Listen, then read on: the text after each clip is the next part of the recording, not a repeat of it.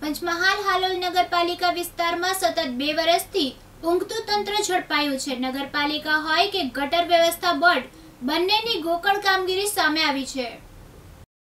ચોમાસું આવવાની શરૂઆત થાય ત્યારે જ કામગીરીની શરૂઆત થાય છે. જ્યાં જુઓ ત્યાં મોટા ખાડા પડી ગયા છે અને ક્યાંક ને ક્યાંક સળિયા અને મોટા મોટા પથ્થરો બહાર રોડ પર જોવા મળી રહ્યા છે. તો આ સમગ્ર તંત્ર નિદ્રાહીન બનીને આ જોઈ રહ્યું છે અને કેટલાક વાહનો અને બાઇક ચાલકો ફસાય છે. કેટલાક અકસ્માત પણ થાય છે, તો આ બધાની જિમ્મેદારી કોની? તે હવે જોવાનું જ રહ્યું. અને બીજી બાજુ કંજરી રોડના મુખ્ય માર્ગની તો આ પરિસ્થિતિ છે, પણ અંદરની સોસાયટી વિસ્તારમાં પણ ખરાબ હાલત જોવા મળી રહી છે. તો તંત્ર કોઈ અનિચ્છનીય બનાવ બને તેની રાહ જોઈને બેસી રહ્યું છે? જે, આપ જોઈ રહ્યા છો તેમ આ હલોલ નગરપાલિકામાં પંદરી રોડનો વિસ્તાર છે. જ્યાં જુઓ ત્યાં ઠેર ઠેર મસ્ત મોટા ખાડા પડી ગયા છે અને જે રોડ બનાવેલો હતો તે પણ ઘણી જગ્યાએ બેસી ગયો છે.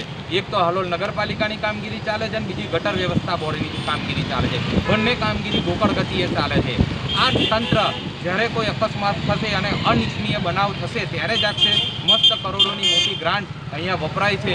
પણ આ તંત્ર માત્ર ને માત્ર ચોમાસું આવવાની શરૂઆત થાય ત્યારે જ જાગે છે. શું આમાં મસ્ત મોટું ભ્રષ્ટાચારનું કોઈ ષડયંત્ર છે કે શું?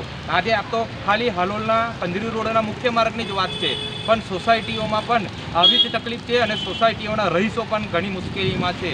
આગામી સમયમાં જો તુરંત આના પર કોઈ એક્શન લેવામાં નહીં આવે, કામગીરી નહીં કરવામાં આવે, તો અમે ગાંધી ઇન્ડિયા માર્ગે આંદોલન કરીશું. કેમ કે આ આજનું નહીં, આ કોરોના કાળ આવ્યો ત્યારથી બે વર્ષથી આવી આવી પરિસ્થિતિમાં છે અને જનતા પણ આ માટે અવાજ ઉઠાવે, એના માટે આજરોજ અમે આગળ ભેગા થયા છે. ગૃહરાજસિંહ ચૌહાણ, પ્રદેશ મહામંત્રી, ગુજરાત યુથ કોંગ્રેસ. સંજય ગોહેલ, દિવ્યાંગ ન્યૂઝ, પંચમહાલ.